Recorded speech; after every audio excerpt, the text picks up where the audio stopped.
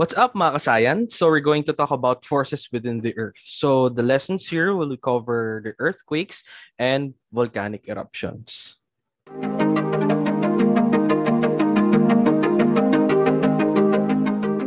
So different forces tremble and shake Earth. These forces cause landforms and water forms to change and form. You will also study how forces such as earthquakes and volcanic eruptions come about to create landforms and waterforms. These changes can be beneficial and harmful to people. You will also learn emergency preparedness plan before, during, and after earthquake and volcanic activities. So we'll start first by talking about the chapter concept map. The Earth has an outermost layer called the crust and may be classified as oceanic crust and continental crust. The crust is broken down into huge, thick plates with movement resulting to spreading of oceanic plates, subduction of one plate by another plate, or slipping of plates. Spreading of oceanic plates results to formation of new oceanic plates. Subduction of one plate by another plate results to formation of volcano, and of course, that will cause natural disasters like violent eruptions. Slipping of plates causes shaking or trembling of the Earth's surface, or what we call earthquakes. Now, these results or causes, humans and the environment here are affected by it. Earth's solid, thinnest, and outermost layer is the crust. It is made out of rocks and minerals. Since the crust is relatively cold, it is rocky and brittle. It can fracture during earthquakes. The crust consists of plates that are either continental or oceanic. The continental plate contains the different landforms and continents.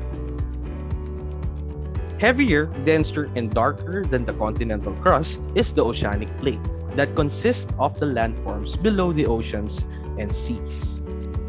The oceanic crust is thinner than the continental crust. On the crust are different landforms shaped by different forces. These forces may be endogenic and exogenic in nature. Endogenic forces are those that come from within the Earth. The force produced by convection current in the mantle is called an endogenic force. Exogenic forces are those that develop outside of the surface of the Earth. Force of the wind is an exogenic force. Beneath the crust is the mantle, which is divided into the upper mantle, asthenosphere, and the lower mantle. The upper mantle, made out of solid bedrock, contains most of the Earth's mass. The crust of the upper mantle make up the lithosphere, which is rigid, hard, and makes up the tectonic land plates about 100 kilometers thick. Beneath the lithosphere is a soft layer called asthenosphere. The temperature and pressure in this region are so high that rock melt. The lower lithosphere and the asthenosphere are both part of the upper mantle. The lower mantle is from a depth of about 660 kilometers down near the base of the mantle. It is more rigid than the upper mantle. Outer core is made out of molten iron and nickel with about 10% sulfur. The inner core is under extreme pressure, that is why it remains solid. It is made up of solid iron and nickel. The plate tectonic theory. Do you know the seven continents of the world? Have you ever wondered why the Earth's landmass is divided into different continents? In 1912, Alfred Wegener, a German geologist and meteorologist, first proposed the continental drift theory. The continental drift theory states that there was once a supercontinent called Pangaea, which over time had separated and drifted apart. It further claims that the continents consist of lighter rocks that rest on top of heavier crustal. It further claims that the continents consist of lighter rocks that rest on top of heavier crustal materials. Wegener also proposed that the relative positions of the continents are not rigidly fixed because they are slowly moving at a rate of most 1 meter per century. This theory was initially rejected by some scientists, but decades later, it became the forerunner of the plate tectonics theory. The theory of the plate tectonic tells us that the surface of the Earth is divided into several pieces of plates that float along the asthenosphere. It explains how the different geological phenomena like earthquake, volcanism, continental drift, and mountain formations occur. Why do tectonic plates move? The plates move along their boundaries in different directions and at a different speed.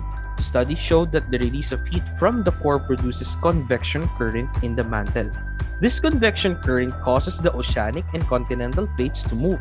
When hot mantle materials rise and reach a weaker part of the crust, some escape as magma into the lithosphere. Some of the hot mantle materials spread sideways beneath the lithosphere and cool off.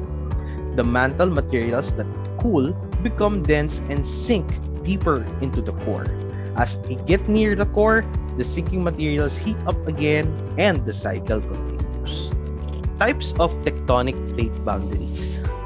There are three kinds of tectonic plate boundaries convergent, divergent, and transform boundaries. Convergent plate boundary is formed when plates meet from opposite direction, causing one plate to be subducted or moved beneath the other. Divergent is formed when two tectonic plates move away from each other. The sunken blocks form a valley called the rift. And last, transform the zone between two plates sliding horizontally past one another. Most of the transform fault boundaries are found on the ocean floor. The North American and Pacific plates along San Andreas Fault are sliding past one another for about 10 million years at an average rate of 8 centimeters per year. What is an earthquake? An earthquake is the shaking or trembling of the Earth's crust. It may be caused by volcanic eruptions, sudden displace of Earth's crust along a fault or collision of plates in the deep zones of the Earth. Where do earthquakes occur? Where the sudden rupture of rocks or plates takes place is called the focus or hypocenter. The point of Earth's surface directly above the focus is called the epicenter of the earthquake. Earthquakes in the circum-Pacific belt originate mostly beneath the ocean floor near the coast. About 90% of the world's earthquakes and 8% of the world's largest earthquakes occur along the Ring of Fire. Intensity and magnitude of an earthquake. Seismologists are scientists who study earthquakes and their effects. They gather data and monitor Earth's crust using a seismograph. A seismograph is an instrument used to record the intensity, direction, and duration of movement of the ground. The record of the earth tremor produced by the seismograph is called the seismogram. It indicates the magnitude of energy released during an earthquake. The intensity gives a qualitative description of the severity of shaking. It is determined from the effects of people, infrastructures, and the natural environment. It uses the descriptive scale called modified Mercalli intensity scale, as you can see right here.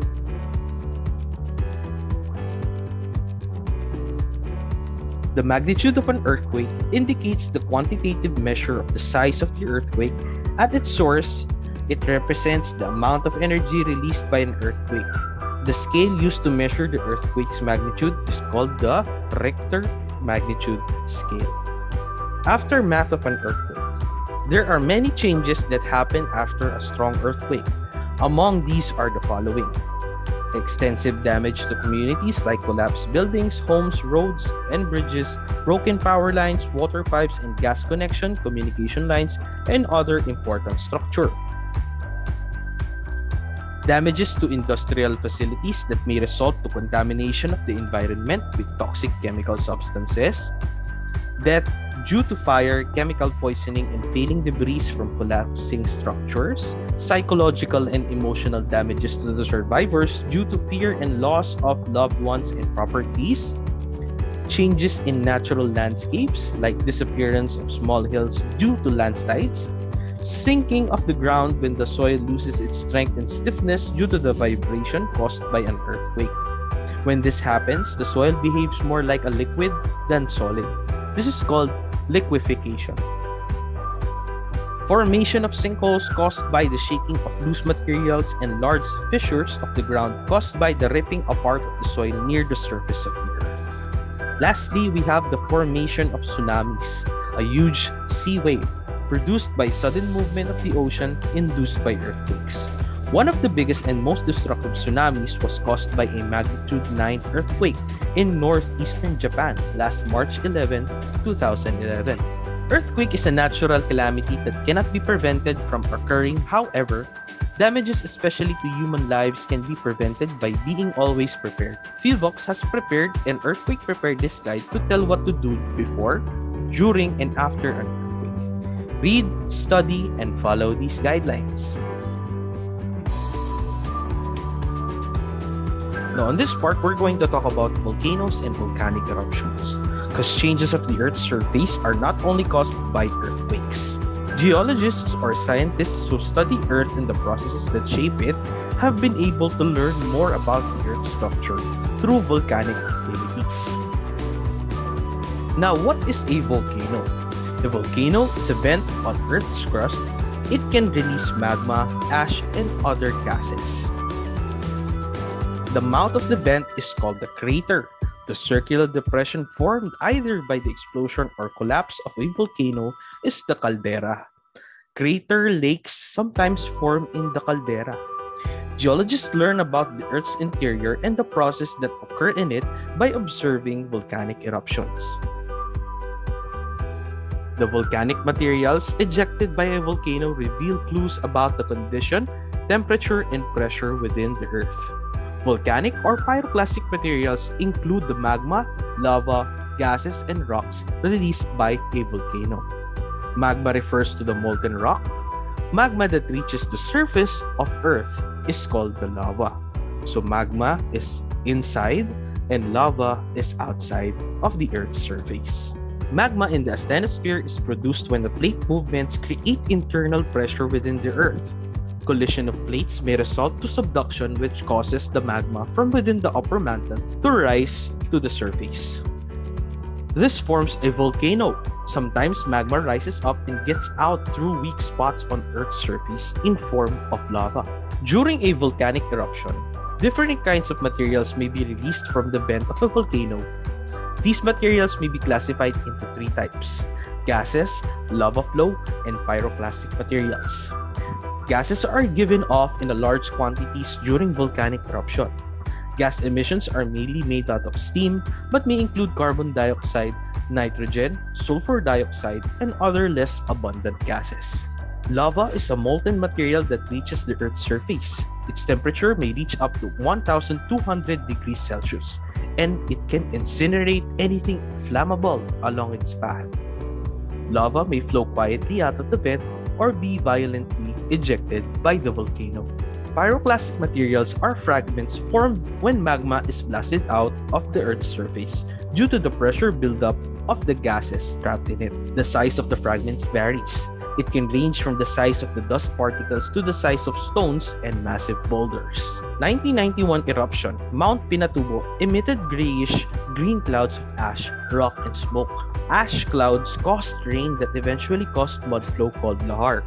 Lahar moved downhill, behaved like wet concrete, and buried everything in its path. Mount Pinatubo wiped out several towns with its lahar flow. Volcanoes may be classified according to their shape, size, and makeup. Shield volcanoes have broad cone with long gently sloped sides. The shape is flattened because of the lava flow from a central vent and spreads widely and thinly because of its low viscosity or fluidity. It does not build up near the vent. Examples of shield volcanoes are found. Their eruptions are non-violent because of the low viscosity of lava that flows from their vent. Cinder volcanoes are steeper but narrower than shield volcanoes.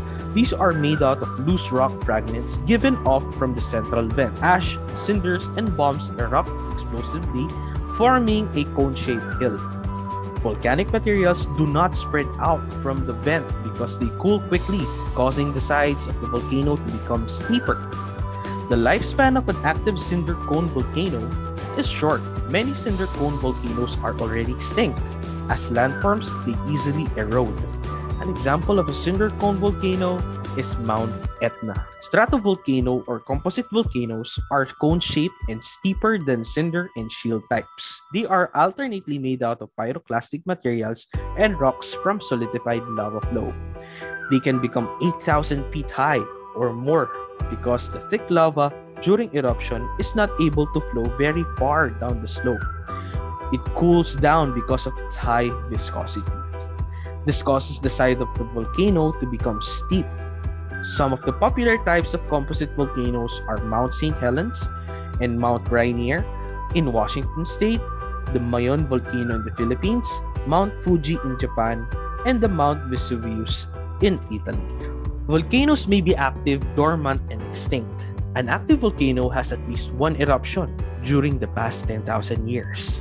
A dormant volcano or inactive volcano is a volcano that has not erupted for the past 10,000 years, but it's still expected to erupt again. There are about 339 inactive volcanoes that are located in different parts of the Philippines. One of them is Mount Apo in Davao. Lastly, we have extinct volcanoes, a volcano that has not erupted for at least 10,000 years and is not expected to erupt again. Like other natural calamities, volcanic eruptions can be very disastrous. They can affect society, health, environment, transportation, as well as communication systems. Society and health. For society and health, long-term exposure to volcanic dust and gases can cause respiratory illness. The areas affected by volcanic activities have to be evacuated. Ashes and other solid materials spewed during volcanic eruption cover houses, buildings, roads, bridges, and fields. Lava and pyroclastic flows run over and destroy houses, roads, and other structures. For the environment, lahar flows can destroy farmlands, landscapes and natural environment are destroyed, thick ashes and gases may block the sunlight for a long period of time, gas emissions like sulfur dioxide react with rainwater, producing what we call acid rain. And fast-flowing lahar can cause riverbank erosion and can weaken bridges. For transport and communication systems, lahar flow can destroy road and bridge links, Ashfalls and gases may interfere with communication signals. Ashes or dust and gases immobilize transport vehicles and reduce visibility. On June 1991, ash from Mount Pinatubo covered a tail of the world's Airways DC-10 airplane. Here we have beneficial effects. We'll start first with formation of new landscapes, local and tourist attraction bringing some economic value, geothermal energy. The Tiwi geothermal plant at Albay is located at the northeast flank of Mount Malinao, an extinct stratovolcano in the East Philippine volcanic arc along the Philippine Trench. Volcanoes and the places nearby are a potential source of geothermal energy that can be tapped for the production of electricity by means of using steam. Ash and lava makes the soil fertile. The fertile volcanic soil in Bicol region where Mayon volcano is located allow abaca plant to grow well. Lahar is found to be a good ceramic material. Can be made into plant pots, vases, tiles, and other decorative materials. The following are safety measures that may be undertaken before and during a volcanic eruption. You may pause the video and read the details. In this slide, you may also pause the video to view safety measures that may be undertaken after a volcanic eruption. We've learned that the Earth has the outermost layer called the crust and may be classified as two things, oceanic crust and continental crust. The crust is broken into huge thick plates that have movement resulting to spreading of oceanic plates, subduction of one plate by another, and slipping of plates. Spreading of oceanic plates results to the formation of new oceanic plates. Subduction of one plate by another plate results to the formation of volcano that can cause violent eruptions, and slipping of plates causes shaking or trembling of the Earth's surface, or what we call earthquakes. Volcanic eruptions and earthquakes affect the human and environment negatively and positively. If you have questions about the topic, feel free to type it in the comments below. If you learned something today, don't forget to like this video and if you're interested in more educational videos to come, click that subscribe and notification bell to be notified on the latest videos. I'll see you guys on my next video. And don't forget, you are your only limit.